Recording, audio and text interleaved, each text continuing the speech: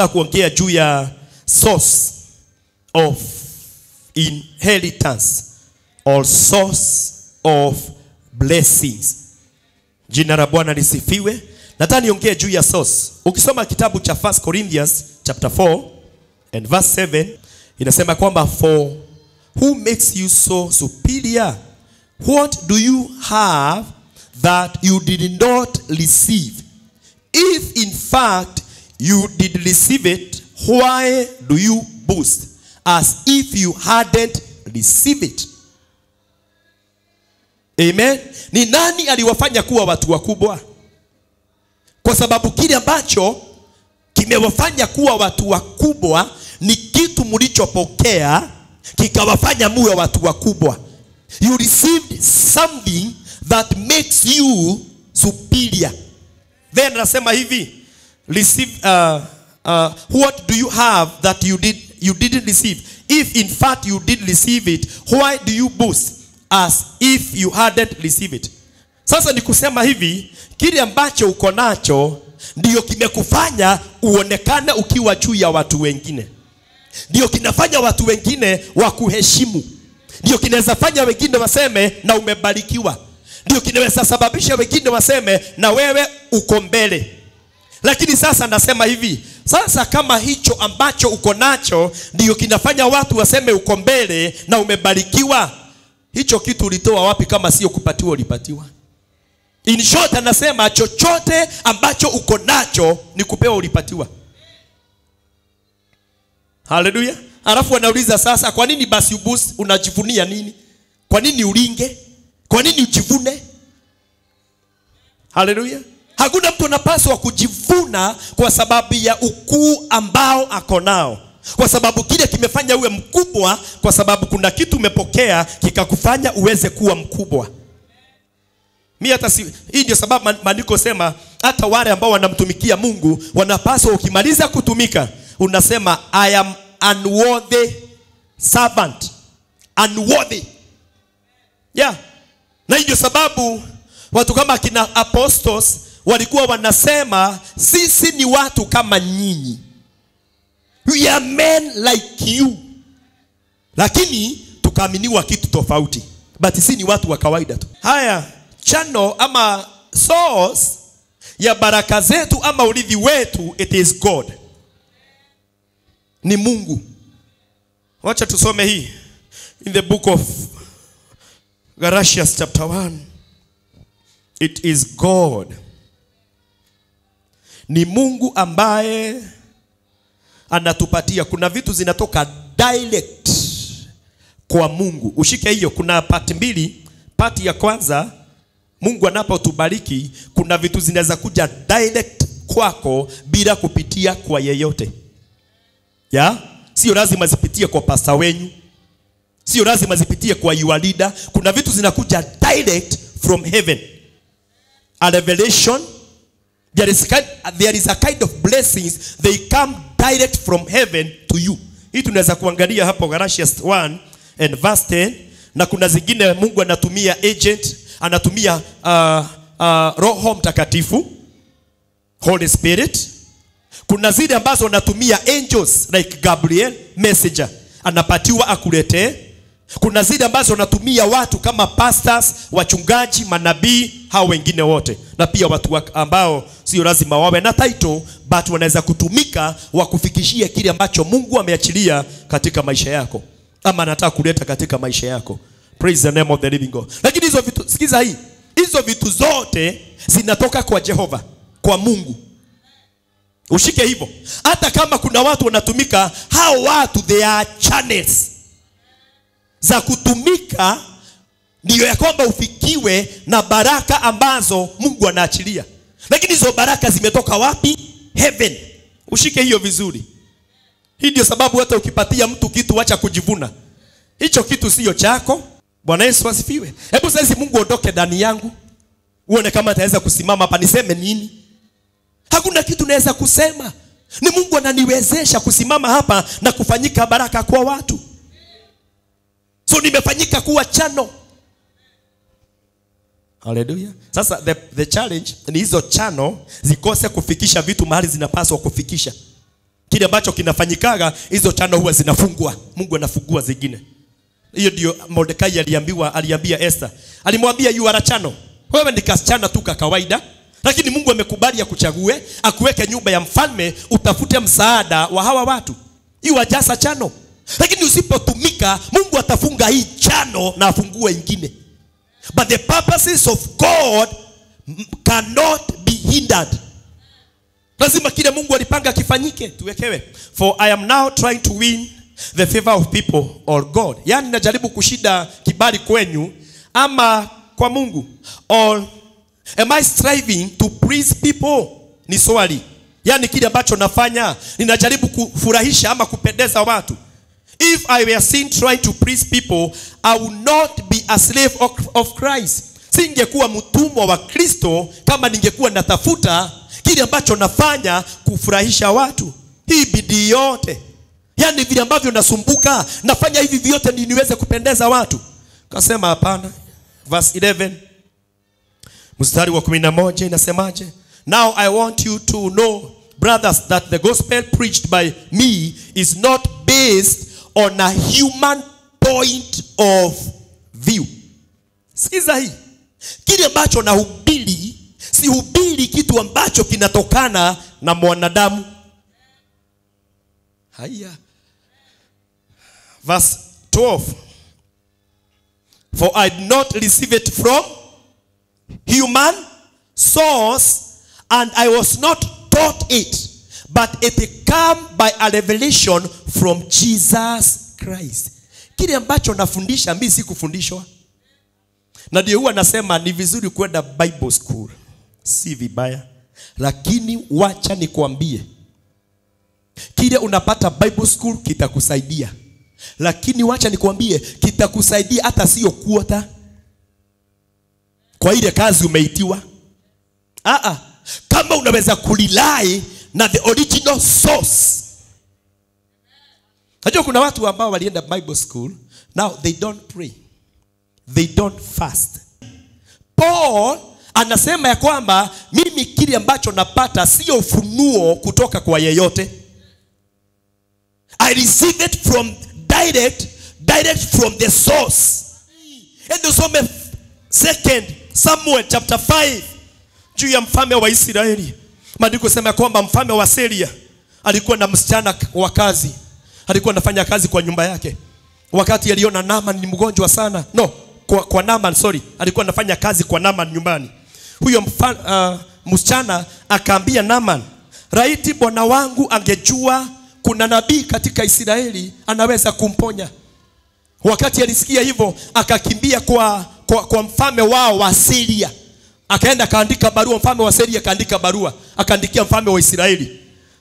Wakati alipelekewa hiyo barua imeandikwa kwa mheshimiwa mfalme uh, tunakuomba utusaidie kuponya mtumishi wetu ambaye anaitwa naman wakati alipelekewa hiyo barua mfalme akapelekewa barua akaisoma. Maandiko nasema hivi akararua.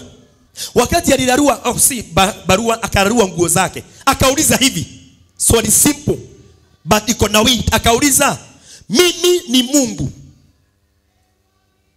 Am i god? Uniambie jambo kubwa kama hii. Praise the name of the living god. Huwa nahurumia watu wale ambao washirika wanakujanga wakisema nimekuja uniponye. Am i god? Watu wale wanasemaga pasa aliniponya am i god? No. Pasa hana uwezo wa kuponya ambacho wako nacho cha kuponya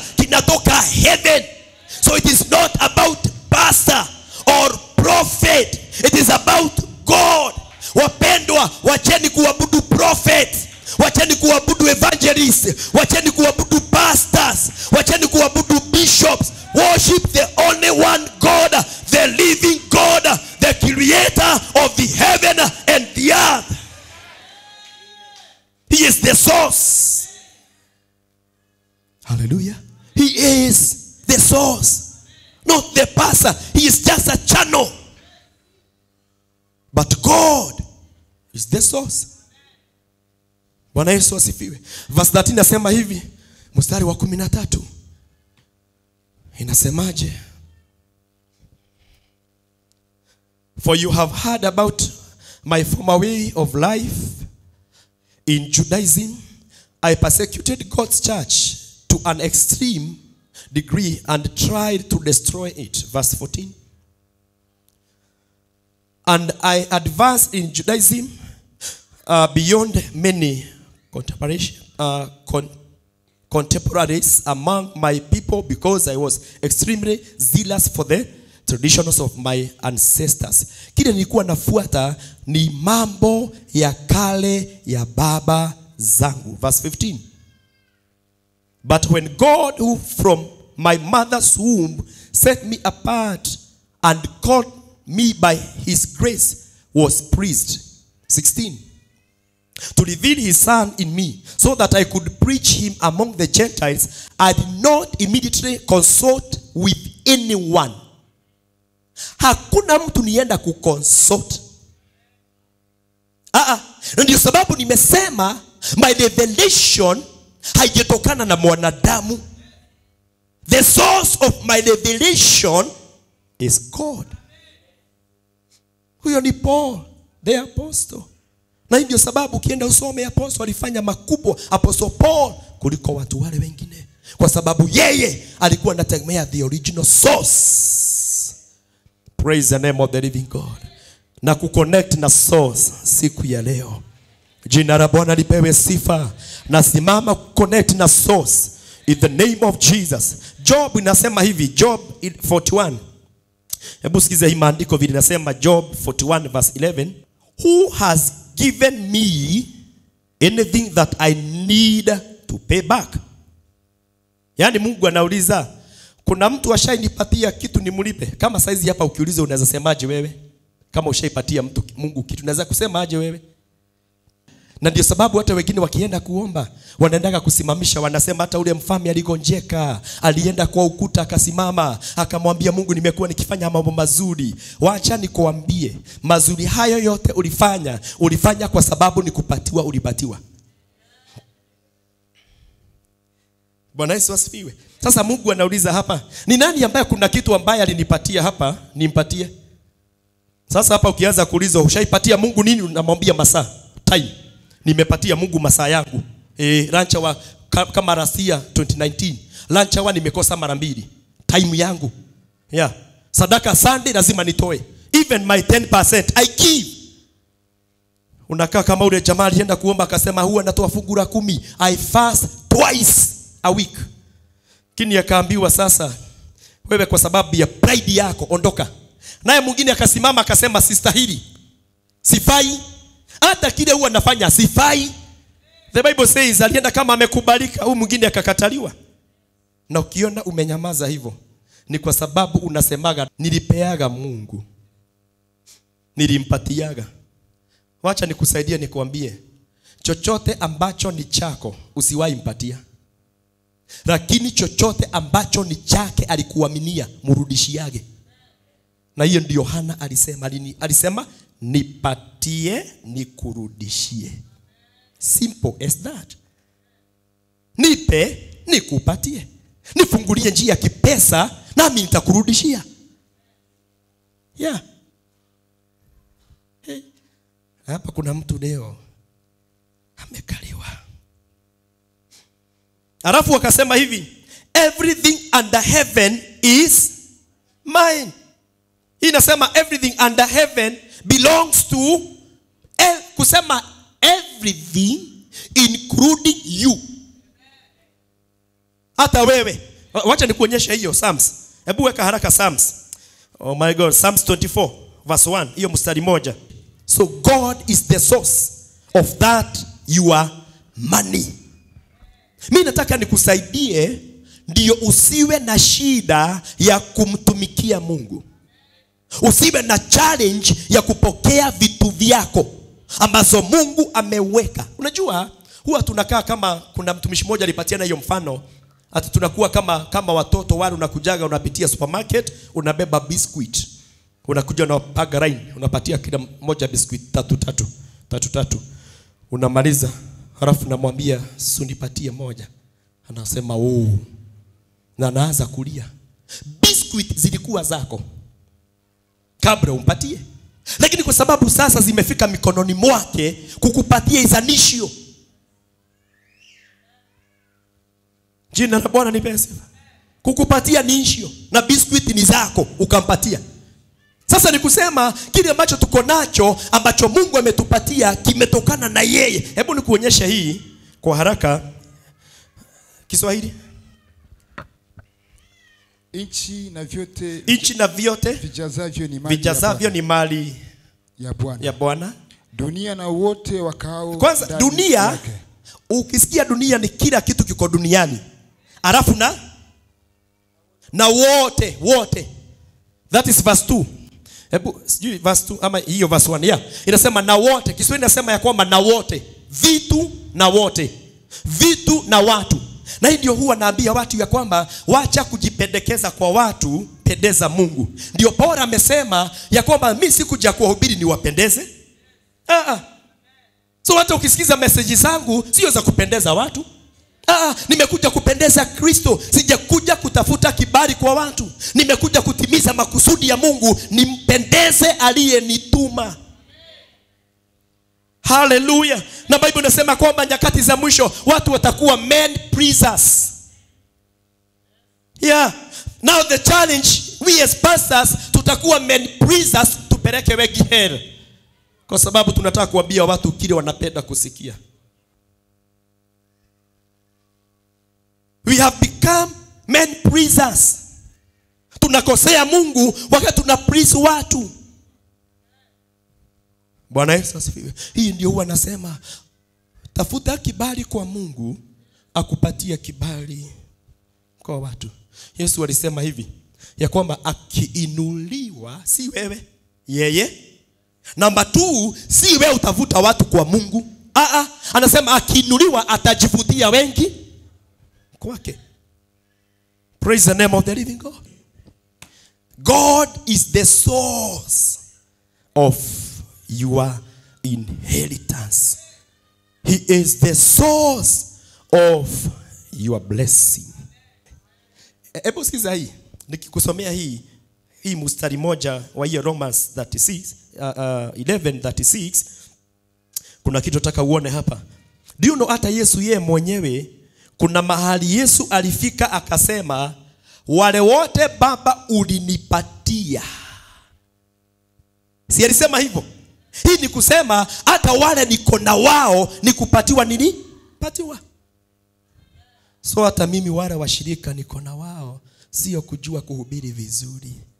Ni kupatiwa nimepatiwa.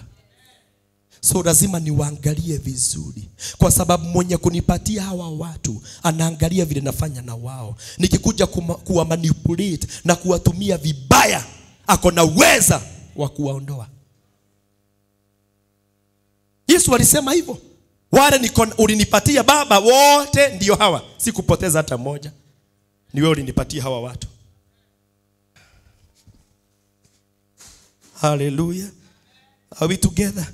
Inasema hivi for everything nataka ushike mambo haya matatu. For everything comes from him that is number one. Everything come from him number two and exist by his power. Yalitoka kwake mambo ndiyo ya exist. Na hii ndio sababu natumia mfano wangu kwa sababu unaweza uelewa vizuri. Kama saa hizi najua watu wale wako hapa ni mungu aliwaleta. Sasa hata kumaintain ni mungu atawa maintain. It is his power and this is why in the church in the altar tunapaswa kufanya juu chini kuweze kuwa na power. Because it is by the power of god watu watakuwa maintained not by dramas. Hey. maandiko nasema kwamba vitu vyote vilitoka wapi? Everything comes from him exists by his power and is intended for his glory. Mambo haya matatu vitu zote zimetoka kwake zitadumishwa na yeye na kwa sababu ya utukufu wake. Him him him him. Ende usome kitabu cha psalms 18 from the, verse 26 hapo kwenda hivyo chini. Daudi alikuwa anasema he he gave me he gave me. He gave me power. He gave me. Akanifunga mshipi wa nguvu. Akanifanyia akanifanyia. Akanipandisha. Akaniweka mahali pangu pa juu.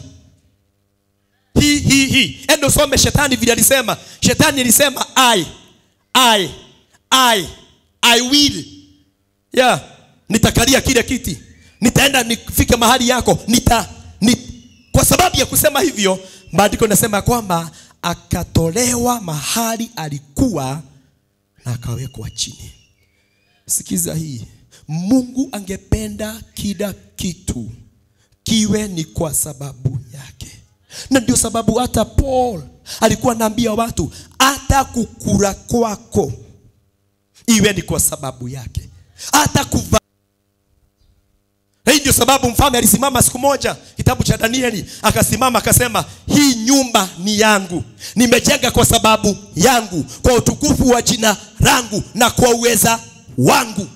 Mungu akasikia vibaya akasema stakagi useme ai stakagi useme hivyo. Mungu akakasirika. Alikuishia hapo. Akashushwa. Kakwenda chini kabisa. Hadi wakati moja akatambua ni mungu ambaye hufanya mambo yote. Praise the name of the living god. Wapendwa ni mungu hupatiana vitu. Ni mungu hubariki watu. Praise the name of the living god. Na kama unataka kile ambacho mungu amekupatia kiwe maintained acknowledge him akupatie uweza wa ku, maintain kile uko nacho na kiwe ni kwa sababu ya jina lake. Give god glory all the time. James inasema ya kwamba mnakaa kama inaitwa mist hii ambayo unamkaga asubuhi unaona inakaa kama moshi. Sasa james inasema nyinyi kwanza inasemaga ya kwamba nyinyi mnakaa kama hiyo mist. Ya kwamba iko saa hii lakini jioni hakuna. Yesu akasema mnakaa kama maua ya kondeni ambaye saa hii yanakaa vizuri inapendeza lakini kesho inanyauka. Praise the name of the living god. So ni kusema ya kwamba nikiona nimesimama niache kusema ni nguvu zangu wacha nikwambie hatutakuwa na afya tu kwa sababu ya kukula vizuri. Hapana. Mungu asipokupea afya hata ukule vizuri ha, wacha nikwambie hakuna kitu kitafanyika maishani mwako. Praise the name of the living god na kuombea neema ya bwana in the name of jesus. Kuna watu watakuwa na kuuliza kwani unakuraga nini? Wacha kuambia ni kukula vizuri ati mtu anakuja anakuuliza kwani unakulaga hey, umekaa smart. You look good. Unamwambia wacha nikwambie mi nakulaga ugali namba two. Sikulagi kuku za za broiler nakulaga kienyeji. Siwezi miss kukula managu. Maji lazima nikunywe lita tatu kila siku. Sasa hakuna mahali mungu anatajwa chakula chakula chakula sasa siku moja unajipata kwa, hospitali unaulizwa okole utakula nini Sasa, "Mm."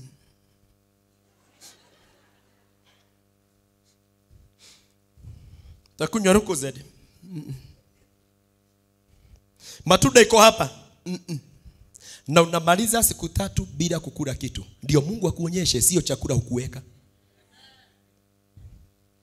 alafu ukimaliza unatoka hapo unaanza kusema ah, nilikuwa nimegonjeka sasa nasikia kama naweza kula. Ni mungu alikuwa anakufundisha sio chakula. Yesu alisema mtu hataishi kwa mkate tu not by bread alone. Praise the name of the living god. Ukiambiwa uko smart nasema ni mafuta ingine litokea hapo. Eh ndio unaona. Haya ulimaliza sport na nini zilikuwa zimeja? Unamwambia wewe acha hujui. Wacha nikwambie unaweza fanya kila kitu lakini mungu asipokupatia urembo.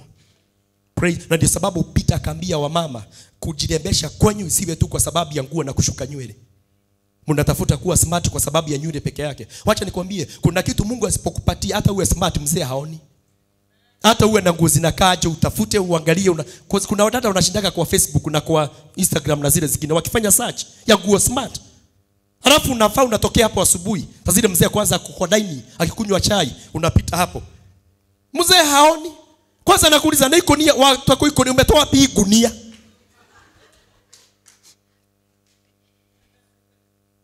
Juu hata siyo shape yako. Ni mtu uliona akifanya modeling. Na vile alikuwa anapendeza na yako na shape ya hiyo nguo na unavaa. Unapita mbele ya mzee anakuuliza sasa hii gunia umetoa wapi? Na si vibaya kujirembesha mi semi usijirembeshe. Ah ah. Lakini wacha nikwambie kama utafikiria utawin watu utawin your husband na urembo wa nje umepotea. Maandiko sema kwamba mwanamke uh, mwanamke mwenye hekima huwa anajenga nyumba. Hekima hutoka wapi? Ya ndio james anasema kwamba ukikosa hekima omba mungu akupee hekima ambayo hupatiana bila kukemea. It is god who gives wisdom and it is by wisdom you can build your home or your house or your marriage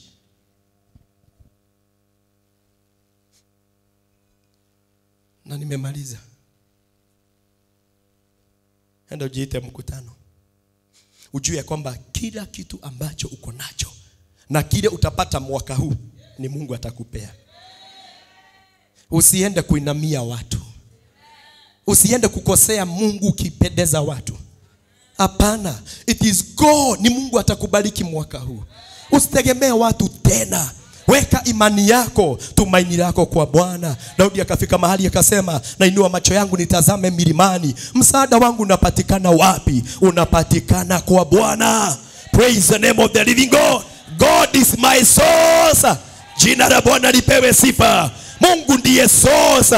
Hata kama huwa anatumia wanadamu sikatai lakini wacha nikwambie he is the source. Na mtu akitumwa niletee akatae mungu anaweza kutuma mnyama anaweza kutuma ndege wa angani aweze kufikisha kile mungu anataka kija maishani mwangu. Praise the name of the living god. He is the source. Bwana yesu asifiwe. Usiende dada wacha kwenda kuhonga watu na mwili wako ndio upate kazi.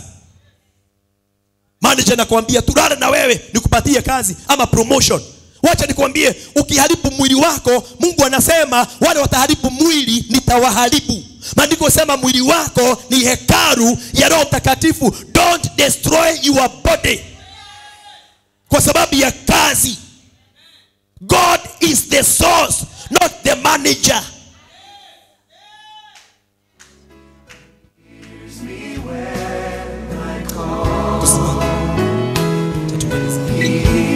me when I call.